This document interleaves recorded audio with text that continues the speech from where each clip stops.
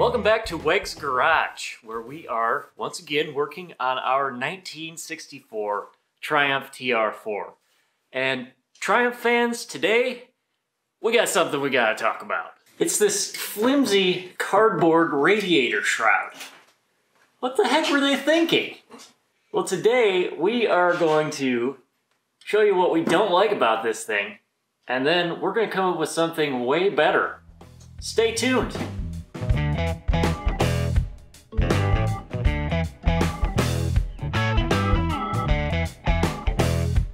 All right, so this is the radiator shroud that we have. I believe, well, this is not the original for the car. This is uh, a replacement one that we bought at some point in the car's history.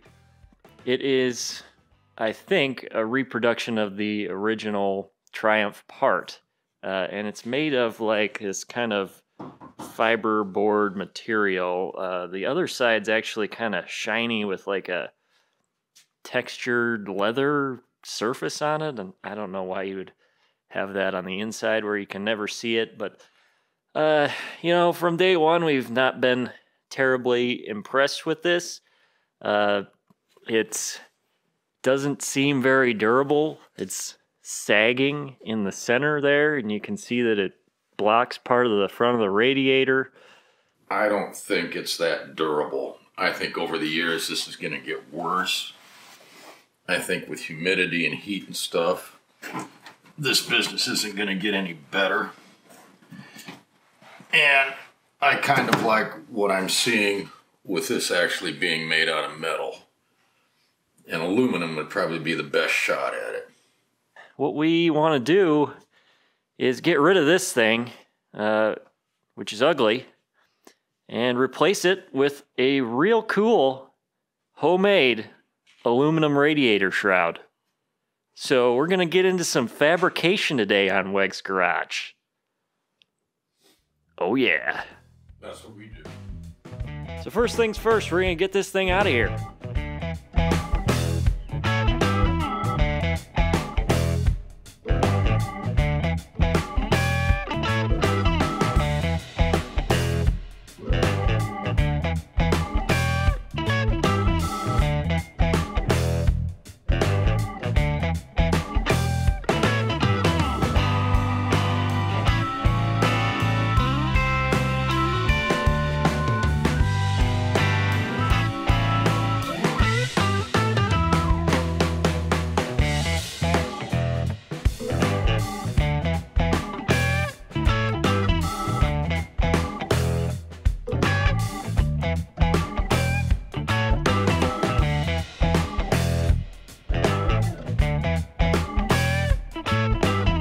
All right, so so far here's what we got. We've done some templating with some cardboard here, and this piece fits quite nicely in here, uh, like so.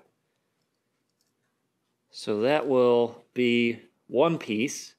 Uh, we've left it so it's a little bit wider than the radiator uh, in the front, just like the old one. So that'll let just a little bit of extra air back into the engine uh, but most of it will be directed at the radiator.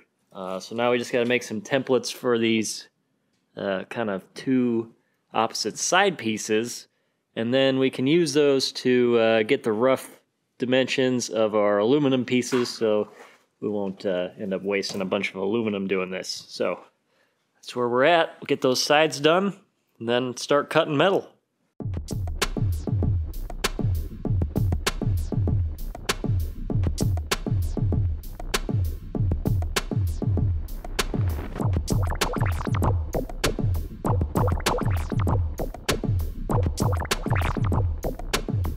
Here are our highly technical cardboard templates. Uh, so we have basically, it's going to be made of three pieces. Uh, the sides are both the same. Uh, so we only made one of those templates because you can just put it on either end, basically make two of those. Uh, but Dad will show you the way she fits up, kind of like like so. So this template does not include the allowances for any of the bends uh, or any of the flanges that we need to put on here. This is just the rough dimensions. So now we're going to transfer that to our material and start getting those other allowances added on there and start laying everything out.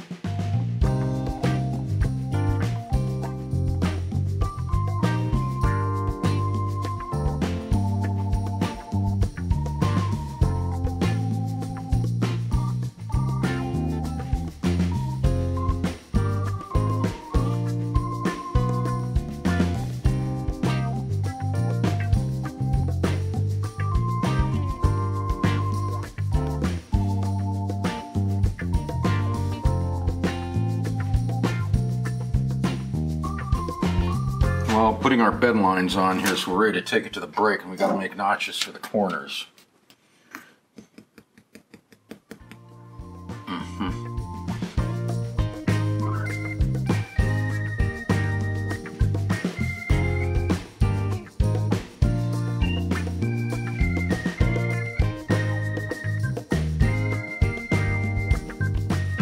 Break time, Bend up. but not that kind of break time. Wouldn't be so sure of that. All right.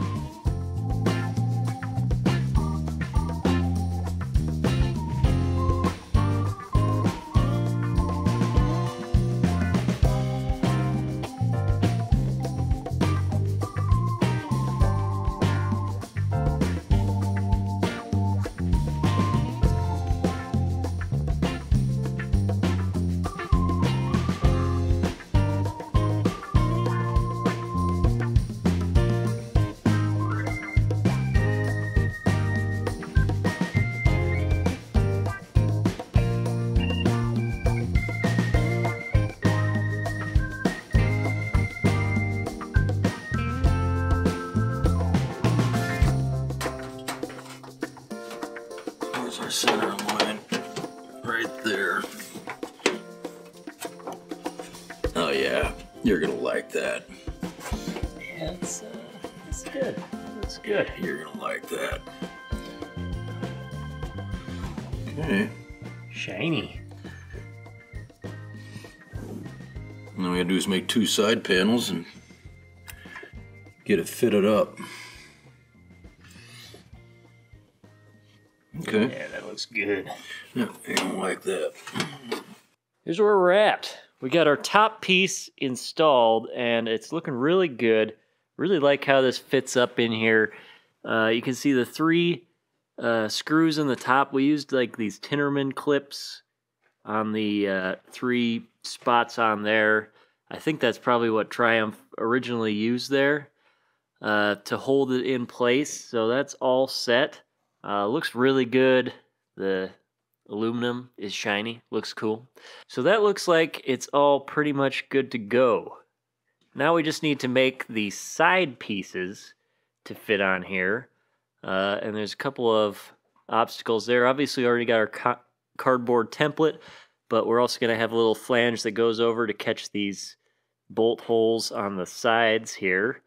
And then it also has to have a little notch for this here uh, bumper support rod that goes up to the front. So we'll set to work on that soon enough. That's going to do it for today. Uh, next week, we'll be back to do those side pieces, turn our cardboard template into a finished product, and hopefully finish up this whole radiator uh, duct project so we can move on to the next thing. I think it's going to look really cool under there with the shiny aluminum, and uh, it's to be pretty cool. So, looking forward to that. Anyways, thanks so much for watching. Uh, don't forget to like, subscribe, find us on Instagram, do all that good stuff, and we will see you next time. Later.